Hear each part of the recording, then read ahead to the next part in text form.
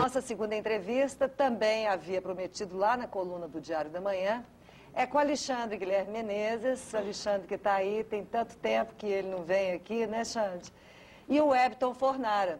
O Alexandre faz o, o Simba da peça O Rei Leão, que vai, é, que vai ser, vai, entra em cartaz novamente desse, nesse domingo, dia 25 de abril, lá no Teatro Madre Germana. Esperança Garrido.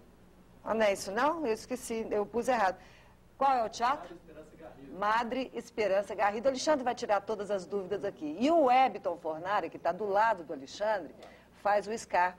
Ele tem uma... A participação do Ebton é impecável, é maravilhosa. E eu trouxe um trechinho é, da peça para você ver e uma entrevista com eles, justamente porque esse vai ser um super programa para você levar os seus filhos no domingo. Vai ser bom demais porque é, a gente tem tanta carência de peças infantis, então quando surge a gente divulga, que é para você ir. Um beijo para você, Webton. Fala um oizinho para mim, isso, o Webton é o Scar.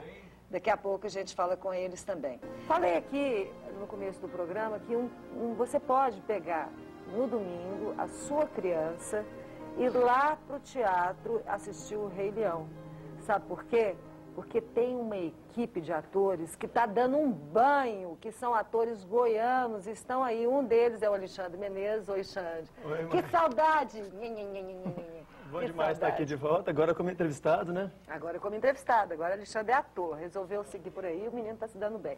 E o Ebton Fornara, que é uma pessoa que eu amei no palco. Para mim, você tem. Você está pronto. Você está pronto. Obrigado. Você pode bater asa e pode voar muito alto. Vamos mostrar um trechinho do Rei Leão, porque o Rei Leão já foi apresentado. Ele é da companhia de teatro Carlos Moreira. Um beijo para Carlos. Ela está assistindo o nosso programa, com certeza. E esse, esse pessoal já se apresentou algumas vezes aqui em Goiânia para grupos fechados de escola, crianças, é um teatro-escola. E várias vezes o Rio Vermelho, com capacidade de duas mil pessoas, esteve lotado. E em uma dessas sessões eu estive lá e eu, francamente, eu, eu amo teatro infantil, eu até chorei de emoção de ver esses meninos no palco. Vamos ver o comecinho, para você dar uma olhada tanto que o teatro estava bombado e daqui a pouco a gente fala sobre essa peça aqui com os meninos. Roda o VT.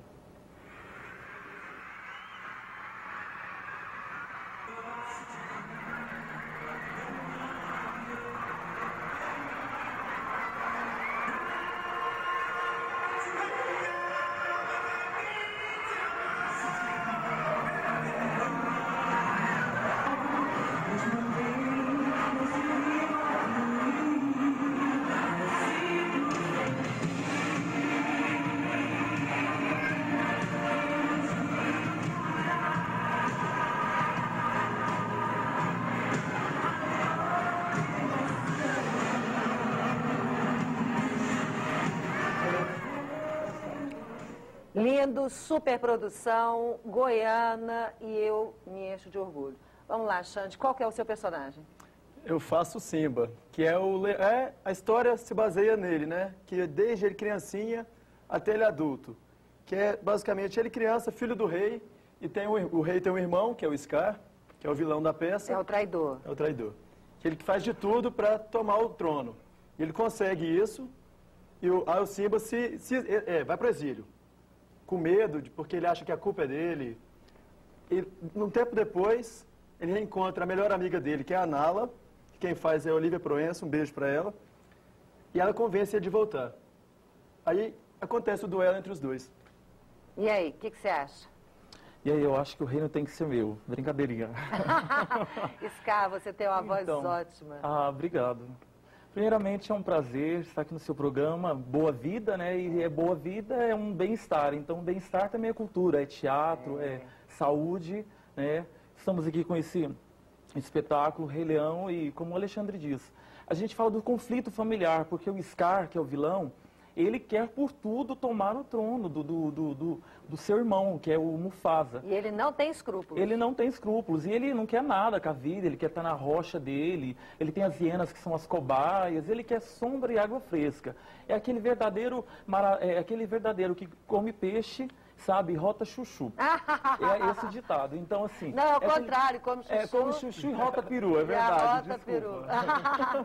então, então, ele não quer nada com a vida. E, assim, Mufasa, por ser o rei, ele quer de tudo que o filho dele, sabe, extinguir o filho dele. Então, aí vem todo esse conflito e ele tenta, ele tenta ma- não matar o filho, que é o, o Simba, ele mata o Mufasa, e assim ele toma o reino, mas só que ele acha que o Simba tinha morrido, mas o Simba volta forte como o pai, mais Fa- forte do que nunca. Faz aquele, aquele diálogo ah, que, que vocês fizeram entre vocês dois, que eu achei interessante, mas caracterizado mesmo. Ah, tá bom. Simba, estou surpreso em ver você aqui e vivo. Ah, me deu uma boa razão para eu não lhe arrebentar. Ah, Simba, você deve compreender as pressões de reger o reino. Não são mais suas? Renuncie, Scar. Ah, eu até renunciaria, Simba, mas tem um pequeno problema. Olhe para eles. Eles pensam que eu sou rei. Mas eu não. Eu sou o rei de direito. A escolha é sua, Scar. Ou renuncia, ou luta. Oh, mas isso tem que terminar em violência. Eu odiaria ser responsável pela morte de um membro da família. Isso não me afeta mais, Scar. O passado está morto. É isso aí. Ah! Gracinha. Olha, gente, me fala que hora que vai ser, onde vai ser. É uma apresentação única que eu estou sabendo, né? É, exatamente. Vai ser às 17 horas, neste domingo, no Teatro Madre Esperança Garrido, que é o teatro do Colégio Santo Agostinho, que fica atrás do Mutirama. Do lado do Tatico, Exatamente. É, também. o preço de entrada é 30 reais inteira e 15 reais a meia. Criança paga meia. Paga meia. E inteira, é, papai só se tiver carteirinha de estudante. Exatamente. Exatamente. Aham. Então a gente vai para mais um intervalo. Daqui a pouco eu volto com os meninos para falar um pouquinho sobre essa carreira de ator aqui em Goiânia. O que, que eles pensam sobre essa carreira, se vale a pena, se eles indicam, como é que eles estão se virando, quais são os planos. Porque isso é muito interessante, porque eles estão no começo aí da fase adulta, né? Vinte e poucos anos cada um.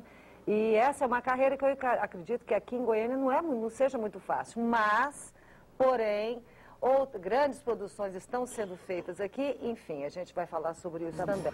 Vamos voltar então a falar com Epton Webton Fornara e Alexandre Menezes, eles são atores, estão aí com uma superprodução do Rei Leão, que vai ser exibido nessa sexta-feira, que entra, eles entram em cena nessa, nesse domingo, dia 25.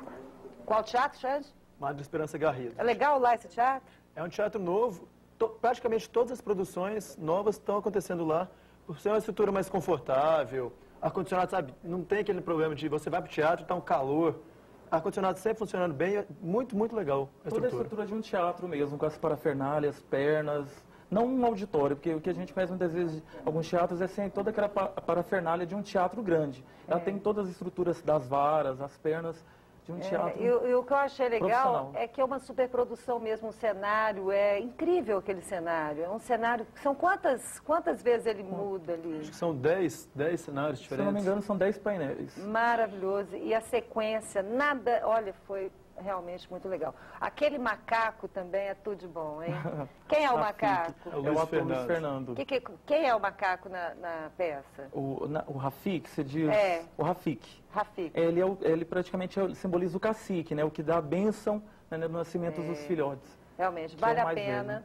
Então, leve sua criança. Vocês acham que essa peça é legal até que idade? Ah, eu acho que ela não tem uma faixa etária, porque fala sobre família, fala sobre natureza. É, assim, é o que a gente precisa hoje em dia, é, é daquele consenso do amor, da união. Porque o que a gente vê hoje em dia são tantas coisas ruins. E essa- esse espetáculo ele traz uma mensagem de amor, de união, de, de, de, de, de, de força mesmo, É, sabe? depois, de luta. e depois da peça, os meninos ficam lá e tiram fotografia com as É um crianças. alvoroço. Eles saem todos caracterizados lá para o saguão, junto com as crianças. Não, elas se divertem demais, demais, demais. Parabéns. Eu estou orgulhosa do Alexandre, eu estou orgulhosa do Webton, porque são pessoas de talento. Pessoas de talento devem seguir a sua estrela. Eu nunca fui impedimento de nada. O Alexandre segue a estrela dele, se ele é bom e se ele gosta, sinal é verde. Parabéns a vocês. De família, né? Uma grande mulher, um grande filho. Aí né? você viu a vovó, né? Opa, tá vendo as raízes? É tem uma boa árvore e tem uma raiz É segura. verdade. né? Eu acho que, pra te falar a verdade, a artista mesmo da família é a dona Eugênia. Mamãe é, é demais, não é, É Xande? a coisa mais linda do mundo. É. Então tá. Eu quero agradecer a vocês. Eu desejo sucesso.